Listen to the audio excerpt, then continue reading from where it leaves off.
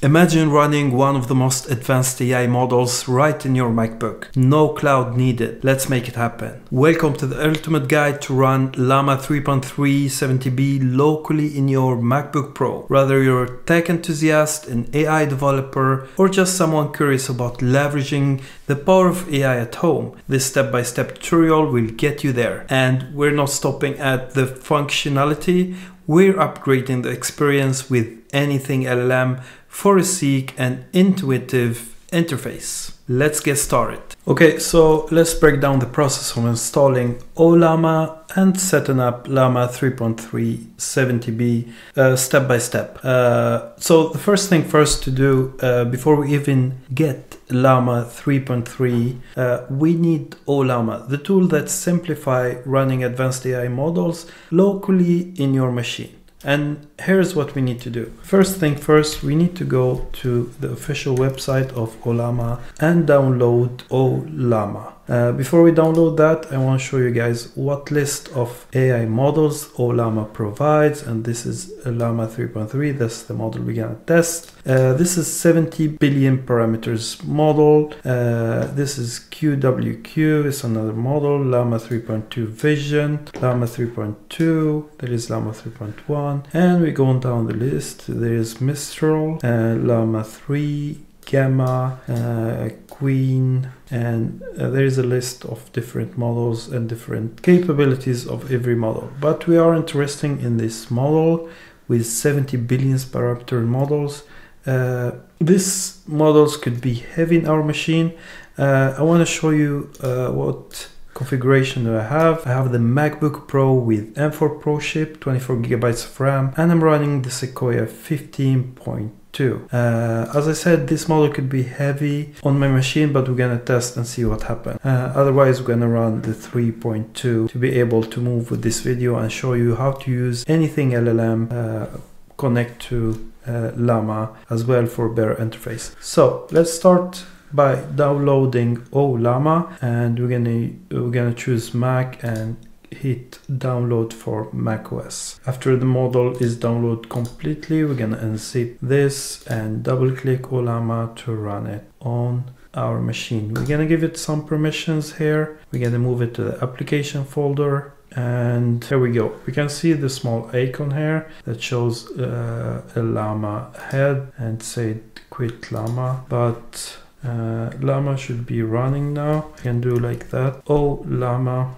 and it's running. Uh, to be able to uh, to interact with the model, we need to run a command and we're gonna use Llama 3.3 70b. We're gonna copy this and we're gonna go to the terminal and paste this command and hit enter. As you see, uh, it start to, to pulling the models and start downloading the models. Uh, it's pretty big in size 42 gigabytes and it's gonna take about six minutes to download. Okay so we'll let our model download uh, in the background there but I want to show you a quick comparison between different models here. There is Llama 3.2 and 3.370b this is the one we're uh, downloading right now and this comparison with GPT-4o and this is different benchmarks from math till uh, logic till reasoning uh, and as you see Llama 3.370b is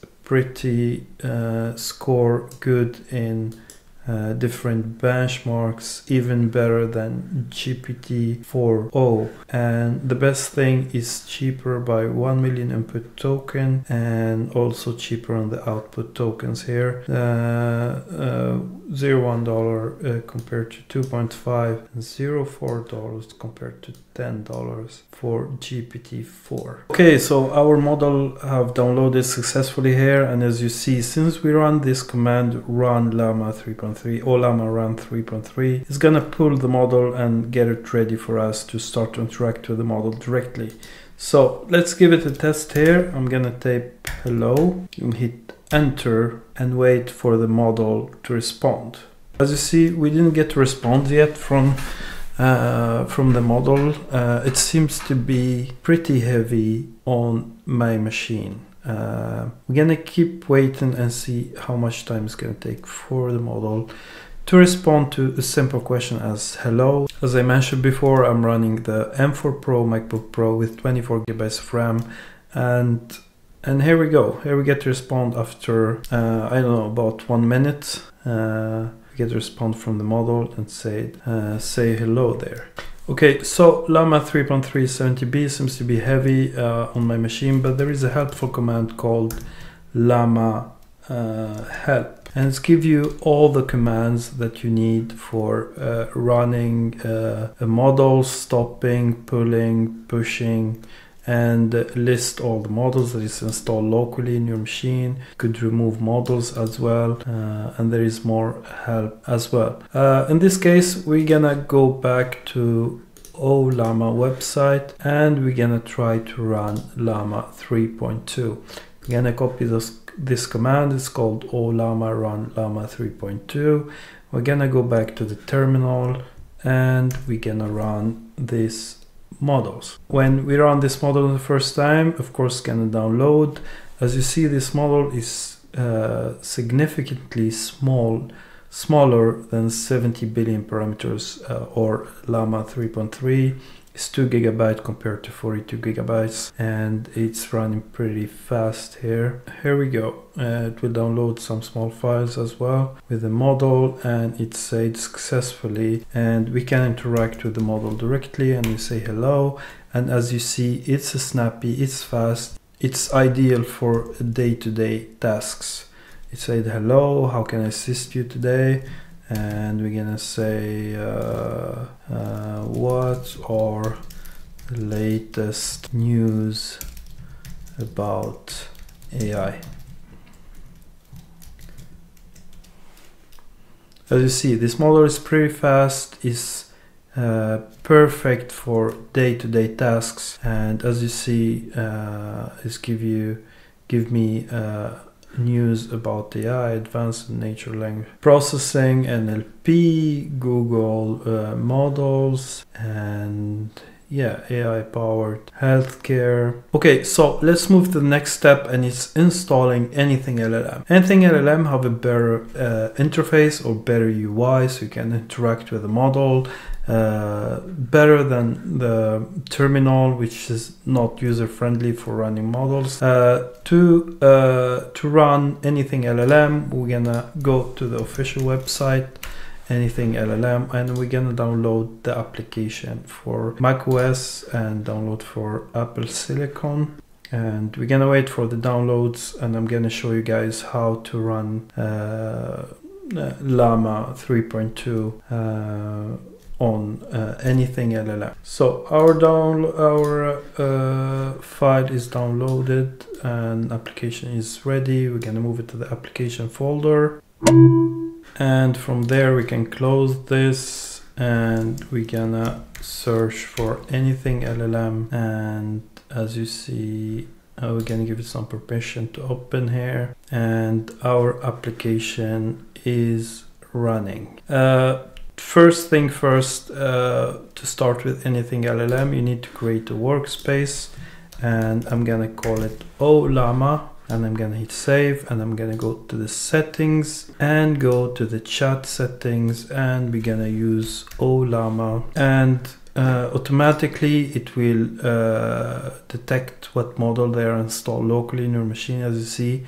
there is Llama 3.2 and 3.3 we're gonna start with 3.2 and we're gonna also test the llama 3.3 as well and see how how many tokens per second uh, this model takes.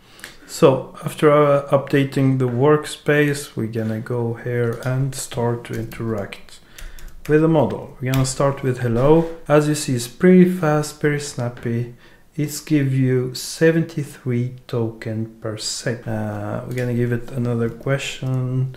Give me the latest news about AI. And as you see, it's pretty fast, pretty snappy, uh, pretty organized on the chat here with anything LLM. Give number one, number two, Google LaMDA, Open OpenAI, ChatGPT, uh, Apple AI powered camera, AI powered healthcare diagnostics. And as you see, it ran for 62 token per second. It's averaging 60 to 70 token per second. And with anything LLM, you can copy, you can edit the response, you can regenerate the response, you can give it a thumbs up, you can fork or delete the response and it's pretty user-friendly interface or UI.